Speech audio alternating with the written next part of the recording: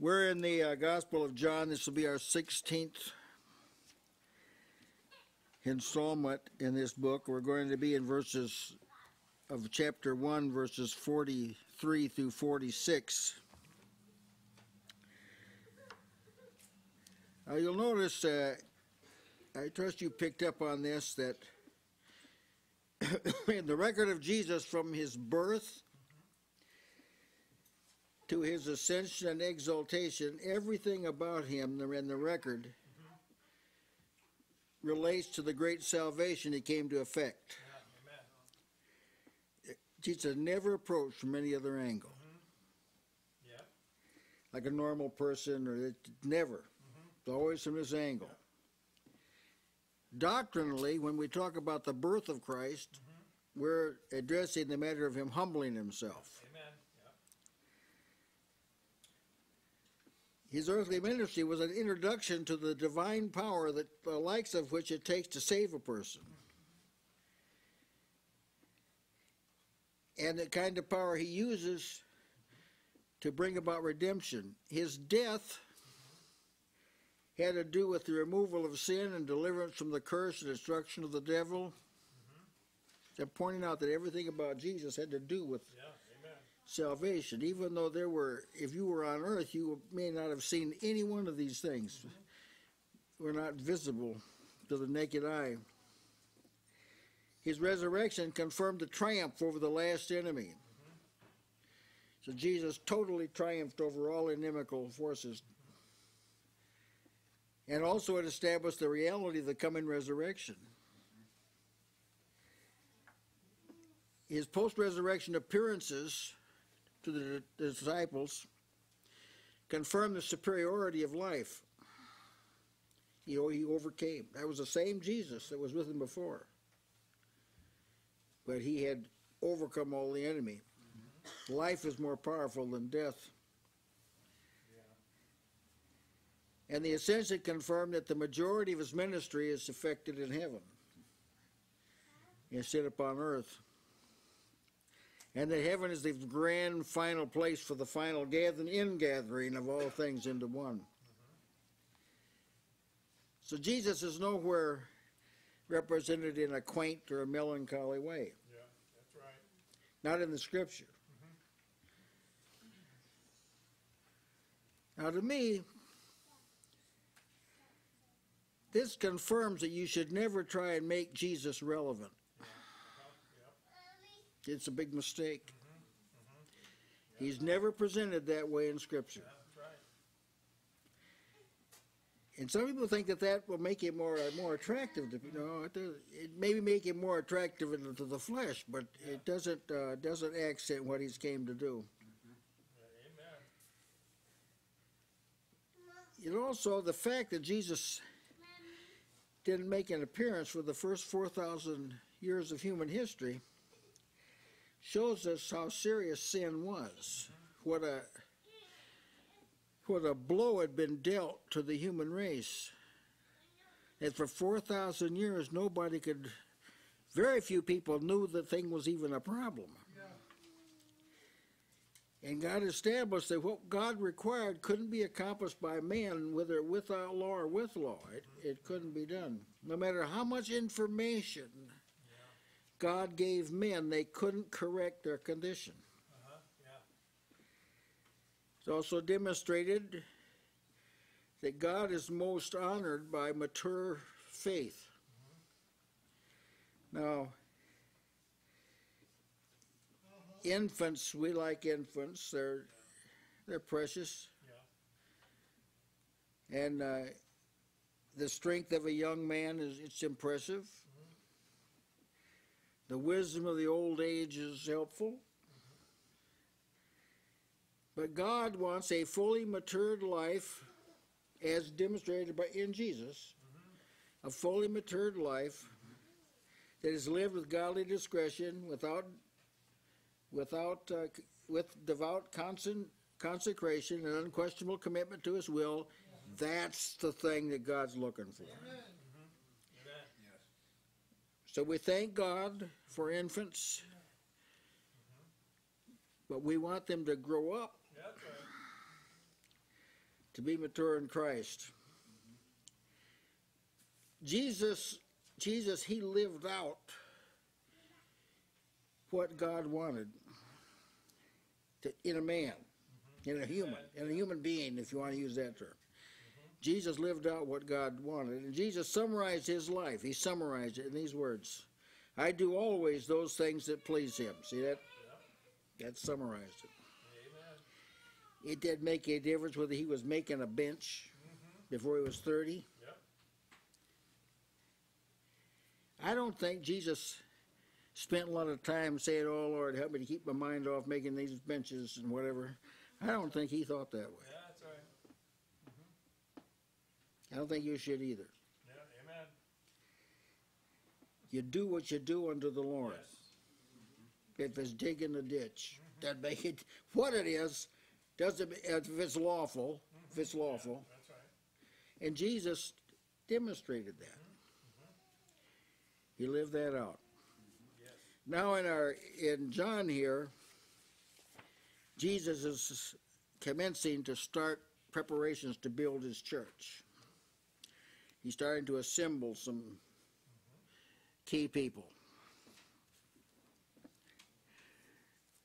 John 1 43 through 46. The day following, Jesus would go into Galilee and findeth Philip. and Saith unto him, Follow me. Now Philip was of Bethsaida, the city of Andrew and Peter. That's the first two he.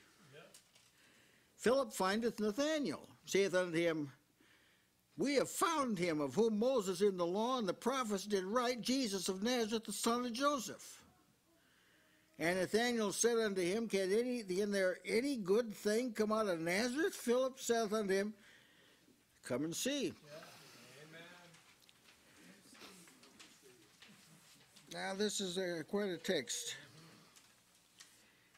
I want to take a little time here to comment on the day following. The expressions the day following and the next day occur eight times in the Gospels. Five of them relate to Jesus' ministry. They speak of the consistency of Christ's life. What he's doing today, to do the next day. What do the next day, do the day following. It was a sort of a consistency to his life. He summarized it this way. He summarized it this way in Luke thirteen thirty three. Nevertheless, I must walk today and tomorrow and the day following. See that? Now that's totally the manner of the kingdom. This is this is how you live. This is how he lived. Today, tomorrow, the day following. There was one uh, continuous flow of his life. We call it a contiguous whole. It's all fits together. Some people's lives don't fit together. You can't tie together what they do through the week. You can't like tie it together. You got a little string here and a little string there and a little string there, and you got to expect that that's not going to work too well. It's not going to work too well. There has to be a flow to your life. You're on a highway of holiness. There's a, there's a, should be a direction and a flow.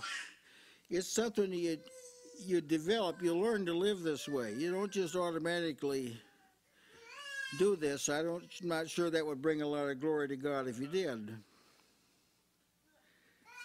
Notice what we have thus far in this uh, in our text. John the Baptist sees Jesus the next day uh-huh. and announces, Behold, the Lamb of God that takes away the sin of the world. Again, the next day, John sees Jesus and says, Behold, the Lamb of God. At which time Andrew and another disciple follow Jesus and inquire where he's staying. Now, that event, the day following, is when Jesus proceeds to carry out the events of our text. See, it's just, just moving right, moving right along. There you're finding this is living out like walking in the spirit. There it is. There that's that's living that out. Mm-hmm. Living by faith. There, there it is. That's living that out. Set your affection on things above. See, walk and please God. That's mm-hmm. that's telling you what that's like. It's like a there's not a break in your focus. There's not a break in the reason why you're living. There's not a break in the direction you're going. Now, this will require attention. Yeah. Uh-huh. You can't be a scatterbrain and live this way. Yeah. You can't. You can't be immature and live this way. But this is how. This is what you target to live this way, so that you know God's with you all the time. Because as soon as you depart from this, you're not sure.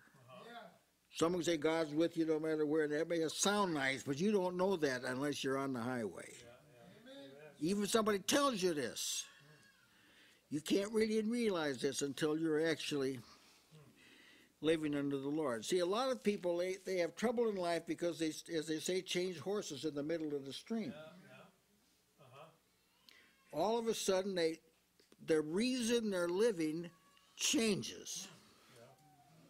Oh, the devil's a master at getting people to change their focus. Look over here. See that? See that tree there? Look how beautiful that fruit is. Ah. It's good for food. You get to be eaten. That's what that. I mean, why would a tree have fruit and you not eat it? So there. See, that's that was a diversion, and it worked. The first time he tried it, it worked. He's still using that. He still uses that to divert people That's right. but he never was successful with Jesus. Amen. Jesus, it says, would go forth into Galilee. He would go forth into Galilee. Other versions read, he wanted to go to Galilee. That's the New King James Version. Or he proposed to go forth. That's to Galilee. That's New American Standard. He decided to leave for Galilee. That's the NIV. He was minded to go forth to Galilee. That's the American Standard Version. Young's Literal said he willed to go with it. See, this was a conscious decision. This wasn't like a happenstance. Yeah.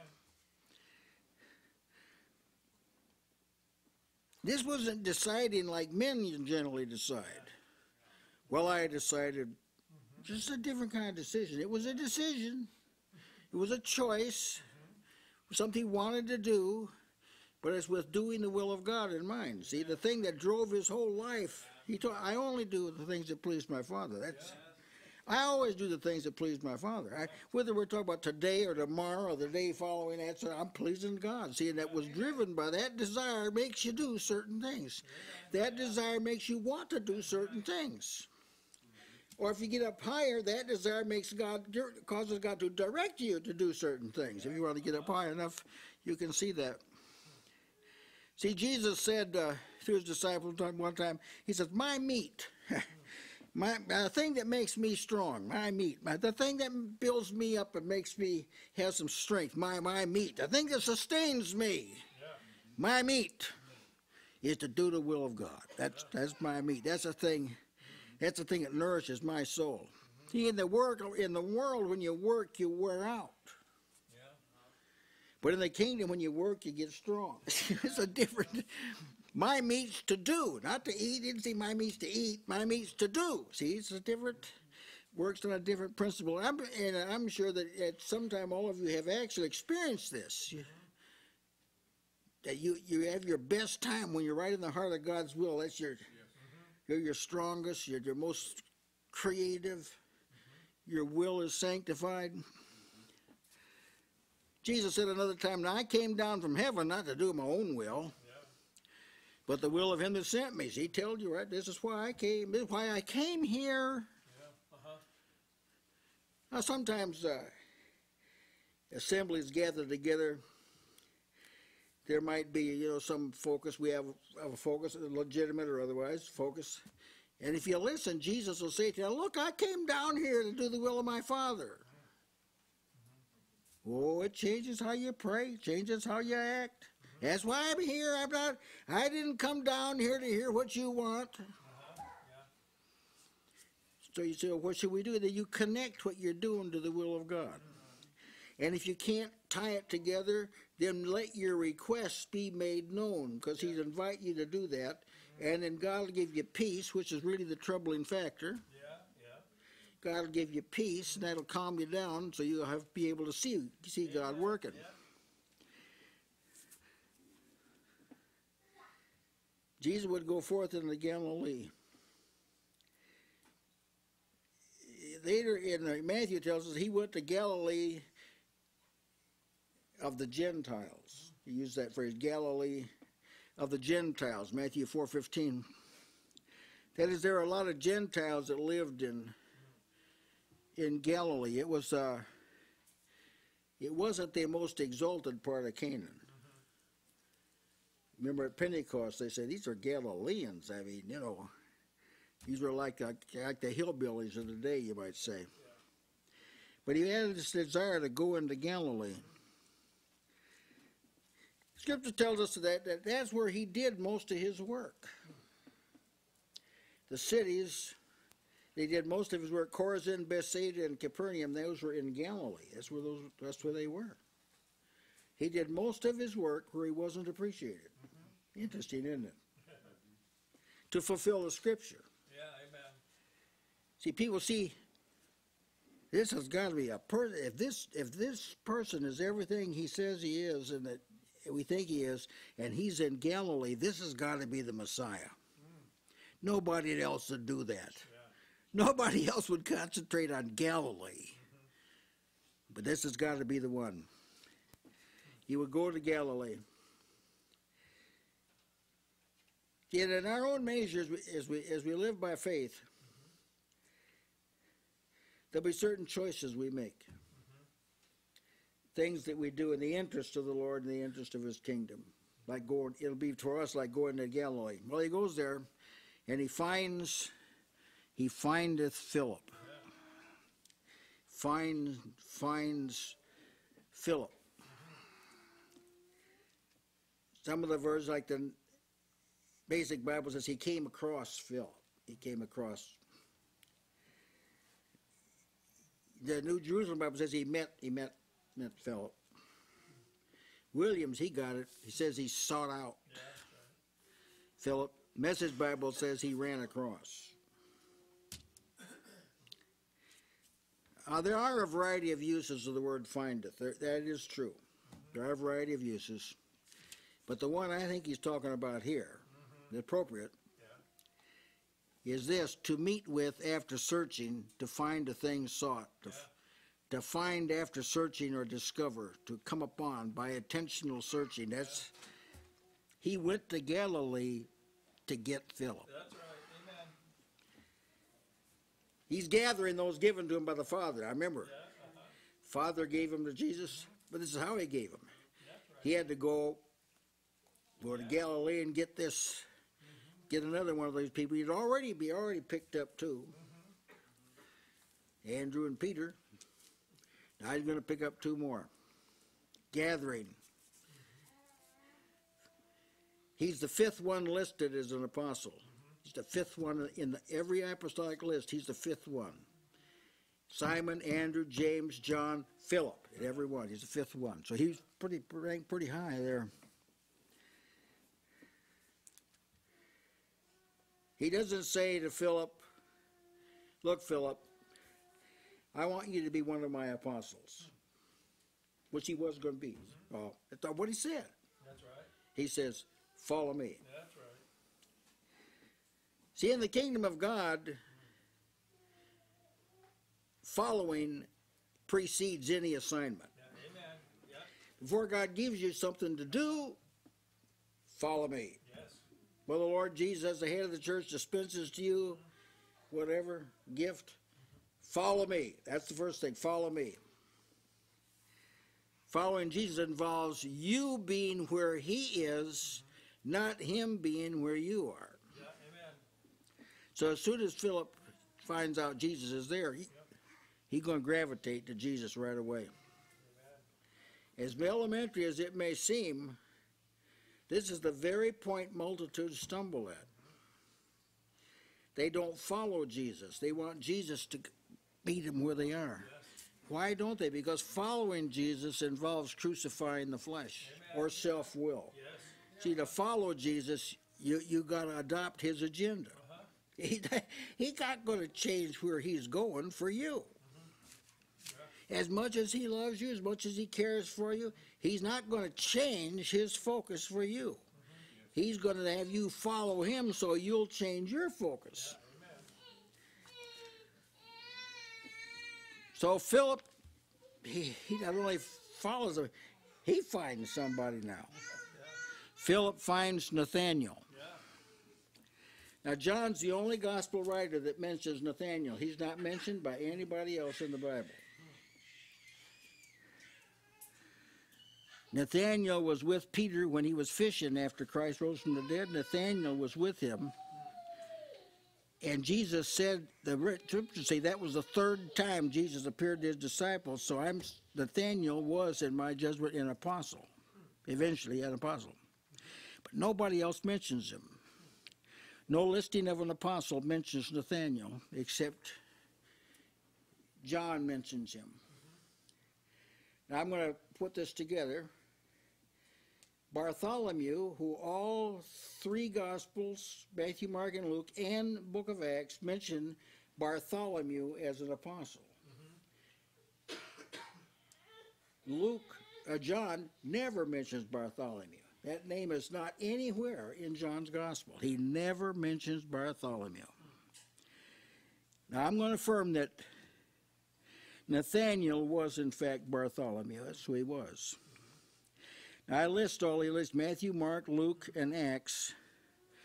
I list them in the order that's found in Matthew. All the names are there. You check them out, you find out that Thaddeus was Judas' brother of James. Further defines you. Bartholomew, that's who Nathaniel was. Was a different name. Now people would have surnames, they'd have Grecian names, they'd have different kind of names. Mm-hmm. So I can't help but I'm driven to that conclusion. I wouldn't make it a test of fellowship, but I think like what other conclusion could you come to? Now I, I noticed too in this that the, the closeness of these brethren with one another. Mm-hmm. There's certain, but they knew they could tell. See, Yeah. Andrew finds Peter, Philip finds Nathaniel. See, there's a certain there was a certain society of people. Andrew and Peter were joined by blood, but they were by in spirit too. So here comes Philip. He finds Nathaniel. He says, "We found him. We." He didn't say, "I find." I found. He didn't say, "I found him." He said, "We." He's speaking for the group. We. We found him, Nathaniel. We found him. We found the one. We made the discovery of the one. The basic Bible says, We found the man. We found the very person. We found the Messiah. We found the one we've been waiting for. We found him. He speaks for a group of believers. That's right. We. Uh-huh. It's obvious they were part of the Israel within Israel. Amen. Huh? Yeah. There were some people in Israel that were looking, waiting, and he's speaking for them. That's who he's speaking for. He's not speaking for the Pharisees here. We, they're not, speak, that, they're not included in that number. Real believers are among those that claim to be believers. Those are the ones we, we speak for. We don't speak for every church member when we say we. Uh-huh. We're talking about those that are walking in the light, uh-huh. in fellowship with Christ. This generation of people still exists, a group of people within another group of people. Yeah. There are believers among pro- professing believers. Uh-huh. They're like Israelites among Israel, real Israelites among Israel. See that? Now you you'll see it. You've seen it in virtually every place you've been. Mm-hmm. You've seen it in the body of people. Mm-hmm. There's a nucleus of That's people, right. Yeah. and that's who he's speaking for. I'm sure that these were people who had the mark on them. Remember, set a mark on those that sigh and cry because of the abominations. I'm sure these these brethren were discontent with Pharisees and Sadducees and uh, all this sort of thing. They must have been like those people in Malachi's day that spoke often one with another. We, we. He's, well, that's what he's doing here. They're speaking one with another. We found him. Uh-huh. we found them. And we know that they were we find they were conversant with Moses and the prophets. These were these were Bible people, you might say. We found them, which Moses in the law and the prophets. We found we found that one. Uh-huh. We didn't find the one we hoped would come, you know, so to speak. That's the one we found. Now, it took some thinking now to associate Jesus of Nazareth with. Yeah. You had to you you couldn't just do this off the top of your head. When they confronted Jesus, it set them to thinking, Yeah. to comparison what they see with what Moses and the prophets said. See, they compared it. Ah, it's- he's he's the one. He's the one. Now it might surprise you in the Christian community how very little most people know about Jesus. Yeah. That's right. Just to kind of perform it like an experiment on your own. And see if you can detect what the average Christian really knows about Jesus. And you will be astounded at how close to zero Yeah. it is. Very little. Generally, it's some kind of platitude that's been stated, you know. Uh-huh. But these men knew. Yeah. Amen. They knew who to expect, and uh-huh. keep in mind now, it had been the the evidence that they were looking for was written hundreds of years, right. some cases thousands mm-hmm. Mm-hmm. of years before this. Yeah. Mm-hmm. Yes. I think there's no doubt that these men knew Moses and the prophets, Oh yeah. and and they more than that they they obviously believed Moses and the prophets. It wasn't this was they were they weren't like the scribes. It wasn't like an Uh-huh. academic thing for That's these right. these men. But I also have to think I suspect that their recognition of Jesus as because this is pretty astounding for them Uh-huh. at this point That's right. because Jesus hasn't really done anything yet. Yeah. That's right. Whether this whether we're what you've heard or not, the New Living Translation says, "Come and see for yourself. Don't let somebody else tell you what we are. That's right. We'll live it right out before you. Just come and see."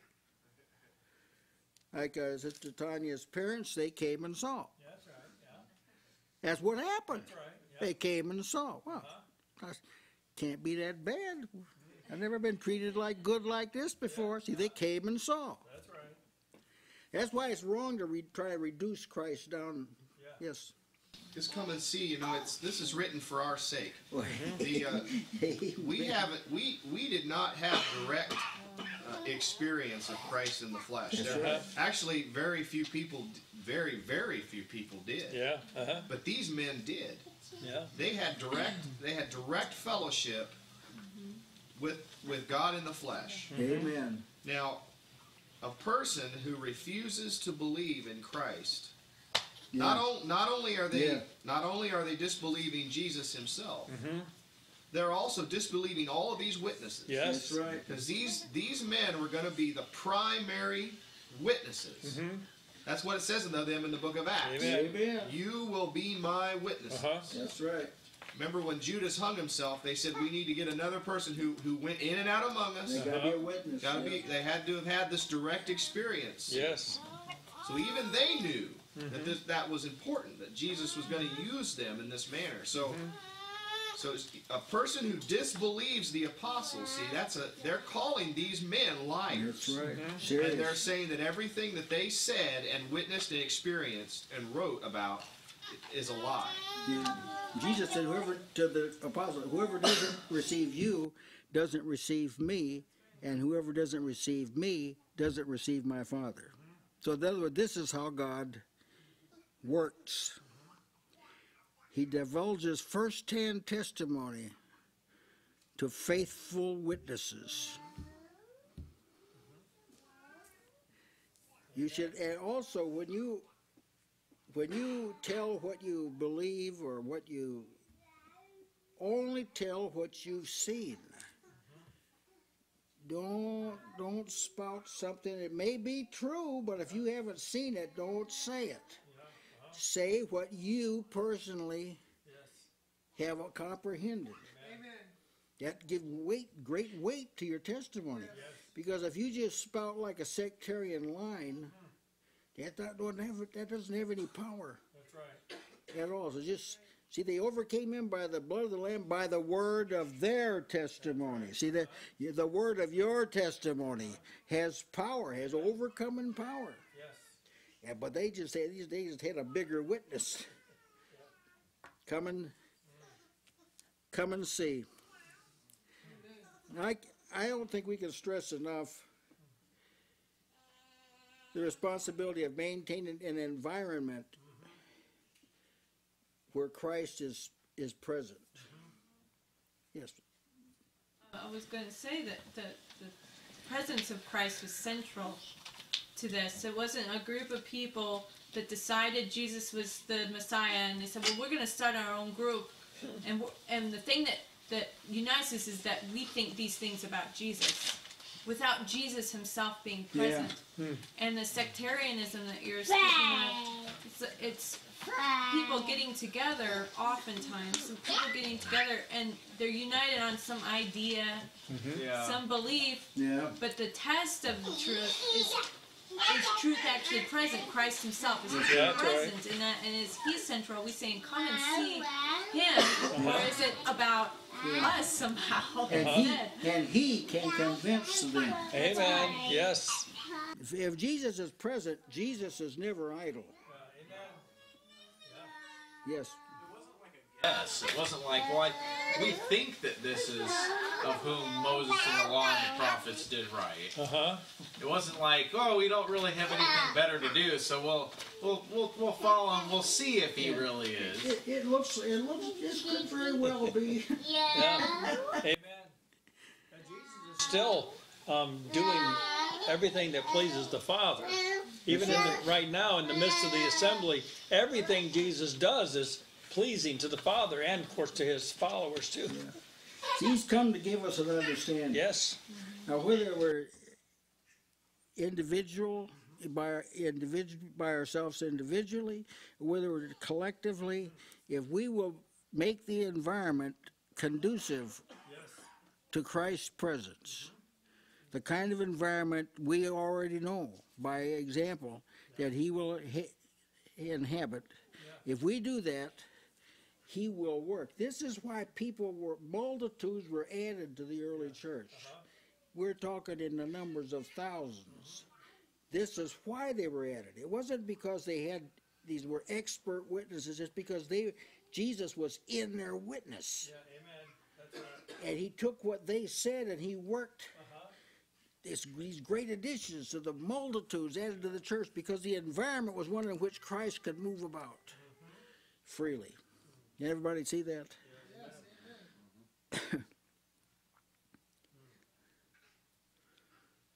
One time, uh, I'm coming on the word come and see. One time in, in Hezekiah's day, the folks started tithing again. and it says that they brought in heaps, piles, you know, of tithes. And it was it was mind-boggling. Here's what the scripture says about it: When Hezekiah and the princes came and saw the heaps, they blessed the Lord and His people Israel. Yeah. Me, uh-huh. come and see. Yeah. So that's what happens when God works, mm-hmm. and you come and see it. Mm. It sets off.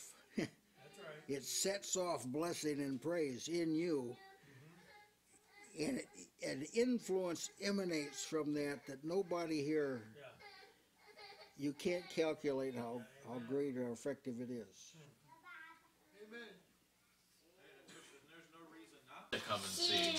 That's Everything's done. The Queen of Sheba, she came and saw Solomon. Yeah, A queen laid aside an entire business of Yeah. an entire kingdom. that's right. Yeah. Come see a man. No one's had.